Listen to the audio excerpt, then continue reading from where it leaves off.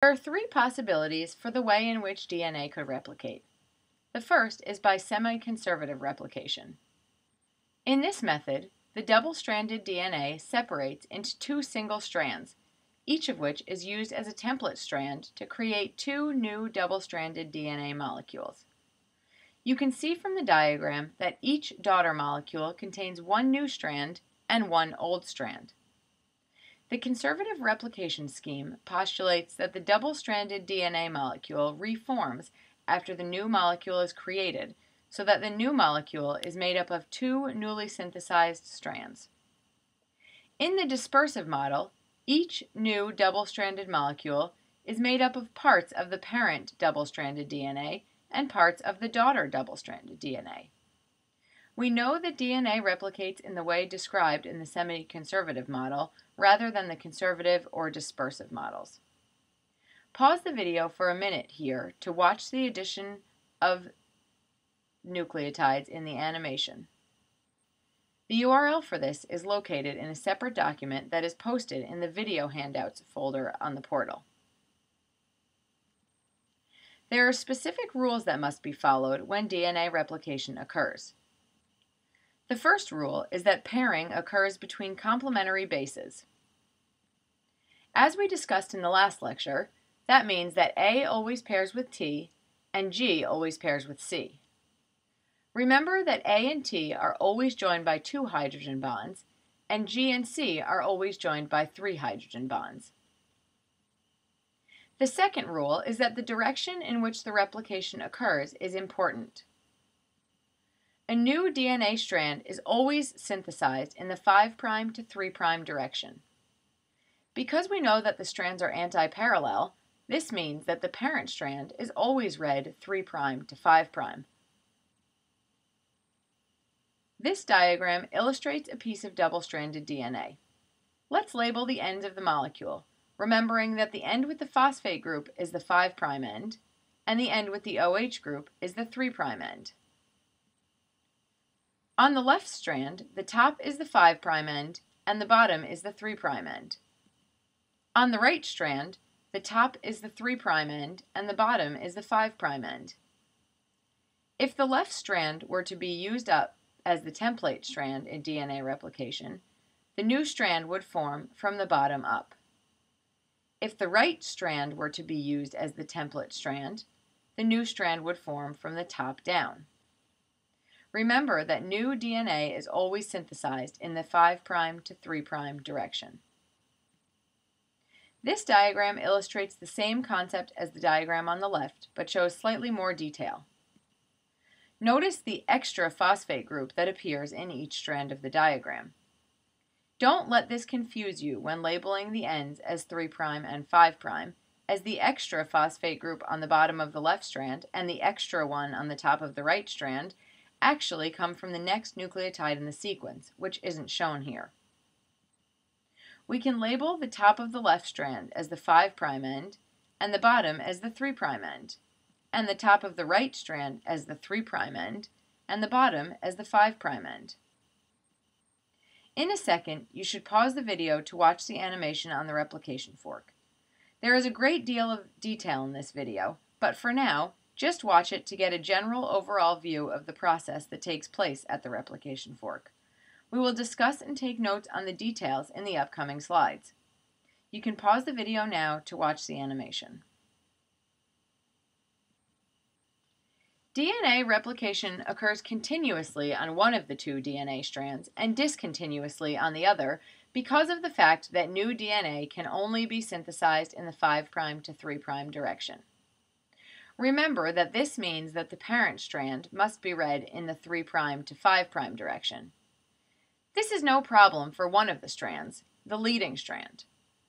As the DNA continues to unzip, replication can continue to occur so that the new DNA is formed in the 5' to 3' direction. You can see here that DNA polymerase, or specifically DNA polymerase 3, is the enzyme that is responsible for adding new nucleotides to a growing strand. While it is relatively straightforward for the polymerase to synthesize the leading strand, replication of the lagging strand is a bit more complex as it replicates discontinuously. This is the case because in order for the new DNA to be synthesized from 5' to 3', the DNA polymerase must essentially jump backwards as the double-stranded DNA continues to unzip. You can see from the diagram that the fragments of DNA that make up the lagging strand are called Okazaki fragments. These fragments need to eventually get joined together to make one continuous strand, and the enzyme ligase accomplishes this task. You may remember from the presentations on restriction enzymes and DNA structure that ligase forms the phosphodiester bonds that join the nucleotides together. We will now zoom out a little bit to look at a bigger view of this process. You can see here that DNA replication will begin at the origin, where the enzyme helicase will unzip the double-stranded DNA. In order for the DNA polymerase III to function, it must have nucleotides already in place to add onto. Therefore, an enzyme called primase adds a few RNA nucleotides to both strands of the DNA to act as a primer so that the DNA polymerase III has something to add onto. You can see the addition of the RNA primers here. You may ask yourself, now that the primers have been added, will the replication proceed to the right of the bubble or to the left? Actually, replication occurs in both directions. Let's first look at the left side of the bubble. The top strand is the leading strand, as the DNA can replicate continuously from the origin of replication towards the left. The bottom strand is the lagging strand, as the replication is discontinuous. However, looking at the right side of the bubble, we see the opposite. The top strand in this case is the lagging strand, while the bottom strand is the leading strand. You can see that once the helicase has completely unzipped the strands and the DNA of each strand has been replicated, two new double strands of DNA have been produced. Here is another diagram that illustrates that DNA replication is bidirectional. However, this picture is even more zoomed out than the last one. Notice here that each DNA strand has a number of different replication bubbles. Each of these replication bubbles has a replication fork on each side at which DNA replication occurs. The replication continues to occur as helicase unzips the strands in both directions until the bubbles essentially join one another and two daughter strands have been created. What advantage is there to starting the replication at multiple locations simultaneously? Now that we have covered all the basics, let's do a little bit of review here, being sure to label everything of importance. There will be a few things introduced in this slide that you haven't seen before. Keep in mind that this diagram shows only one side of a replication bubble. The first step is for the enzyme helicase to unwind the double-stranded DNA.